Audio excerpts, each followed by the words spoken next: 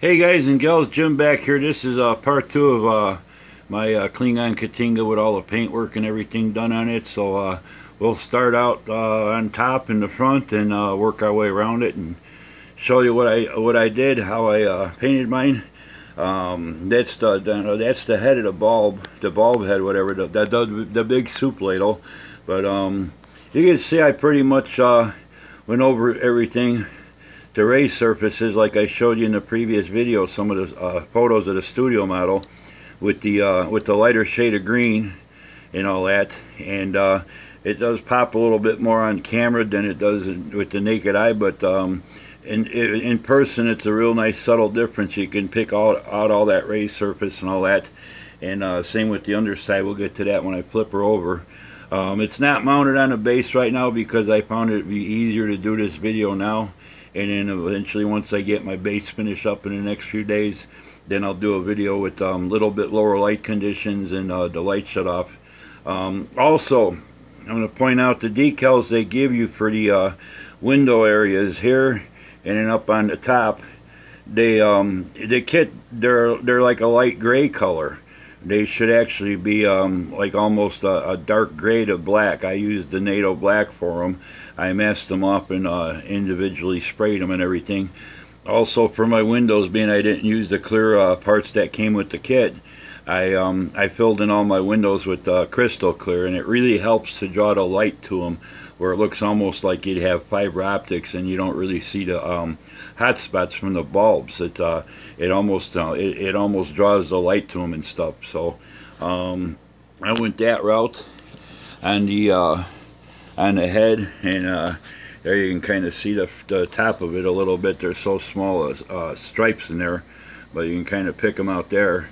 Now on the top of the head I noticed uh, in the in the photos that there were some darker panels on each side of the head and that's what I did there. I went with a shade lighter than I used for my main color.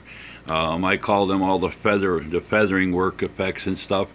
They also uh, on the studio model there are a couple areas here that are, that are darker green and also on the sides. And I found a couple pictures on another website which I couldn't download but they also had another lighter uh, strip right next to that dark green that uh, that uh, lighter one right there almost the same color as the light mauve and stuff. So but um, those are my two different shades of the mauve the darker and the lighter and stuff and uh, it's got that real nice in person you can see pick out that real nice rosy effect to it and all that. So and I also also did the same on the uh, on the bulkhead.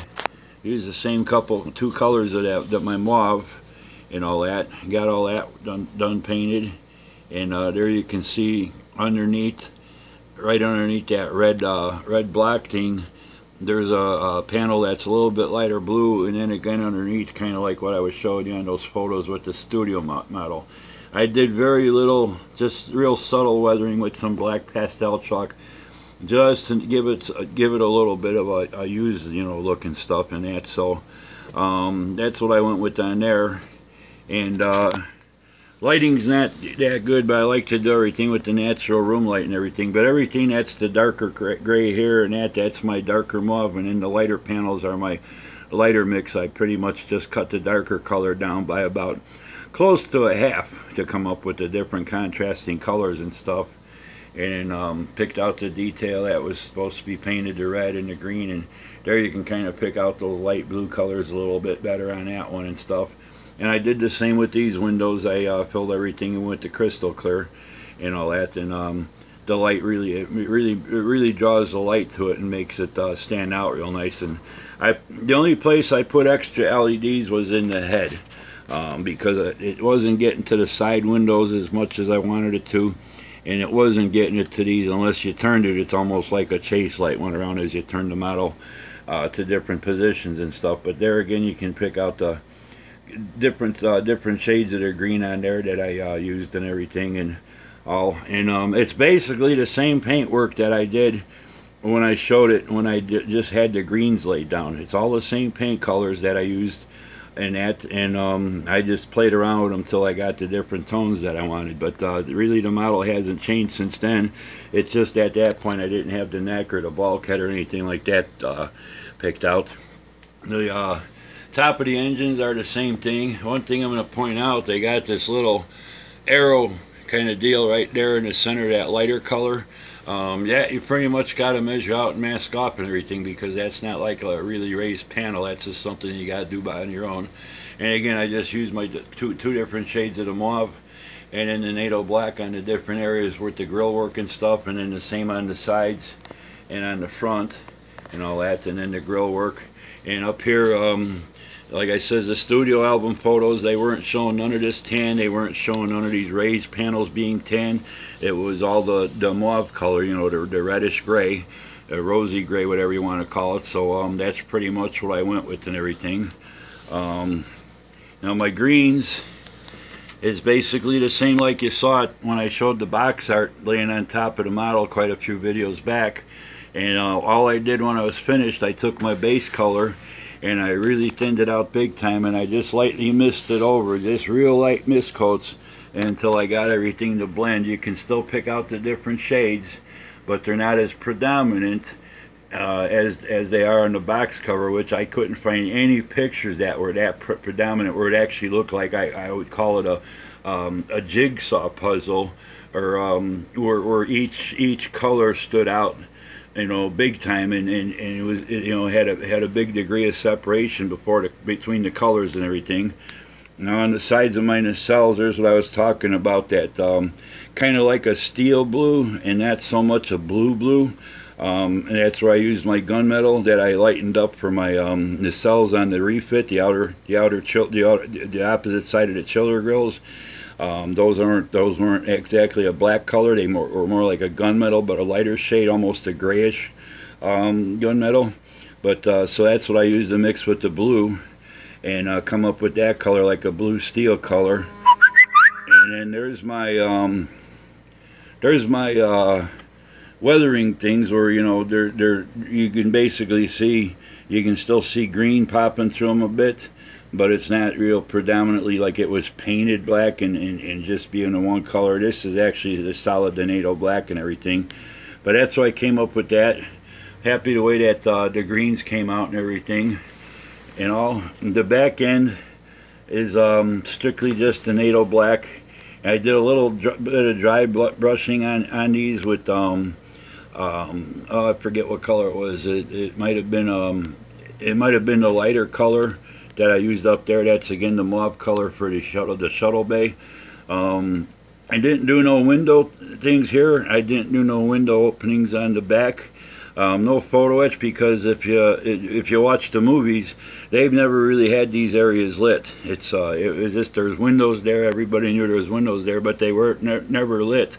So I kind of went that route too. Um, the uh, rear thrusters. Um, I got them filled with fiber fill to cut down, uh, to keep from getting a hot spot. Um, they kind of look like that on a studio model. There were actually no, there was actually no grid work or mesh or, or anything in those. It was, they were just, uh, they were just solid uh, panels in there that looked white and everything. And even with it lit up, you didn't see no kind of um, grid work, grill work, work in them. So um, I just went with that. These here, uh, um, little vents. There's three of them on each side. I just kind of did those over with the, uh, went over them uh, dry brush some uh, some of my lighter shade of uh, the gunmetal on there in that to give them a little bit stand out and stuff. So that's where I got all that stuff from. And uh, we're gonna take and uh, oh one more thing on the back of the head. You're gonna see that gray area. That's another photo that I found of the studio model. I'm going to turn her around a little bit, try to get a little bit more light on it. That's another shot that I found on the website, other than the ones that Round 2 had posted, um, that had um, the top of this area back here where the, those rear windows are. Um, that was actually showing up a gray. I used the uh, darker mauve for that. And also um, up on the back of the head, there's a lot of deal, detail that was that I picked out that was showing up in some of the photos too where this was uh, almost a white color and the same with those little areas right down in there so um, I kind of kind of went over those on the on the box art. That stuff wasn't really gone over, other than these grills and stuff. Um, this little raised bump over here, I, I used um, just a straight uh, iron out of the bottle.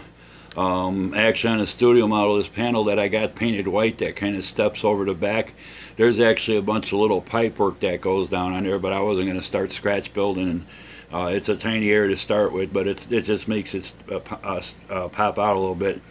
Up along here, which you probably won't be able to pick out, um, I did pick out a couple panels I saw in the studio model that, that were a darker shade of green also. So um, it's not 100% accurate, but then too, there's really not an accurate paint job for this because like I said it was painted over so many times and dusted over with some kind of white powder that uh, the colors are, are changed from just about every shot that you see. Uh, every time they use it for filming they uh, they did some paint work changed the paint work or something. So um, you know any way you paint it it's not really going to be right it's not really going to be wrong. So I just went for this uh, this scheme because I thought it looked the best and uh, it, was it was kind of real close to what it was originally painted before they start messing with everything. And there again you could see my medium green color and then those are the lighter areas that I know, when I missed it over it kind of blended everything together. So really happy with all that the way it came out and everything. Um, I'm gonna flip it over now. We'll go over the underside and um, all that and uh, we'll start again at the front and uh, there you could see the uh, the bottom side of the head of my two different shades now they don't show up as predominant in in, on, on, in, in person as they do on here uh, for the front around the tor to uh, photon torpedo tube I just did a little bit of weathering to look at you know give it some uh, uh, you know, some some firing, you know, uh, grit and stuff. You know, when they fire the torpedoes, it might leave some scorch marks and stuff.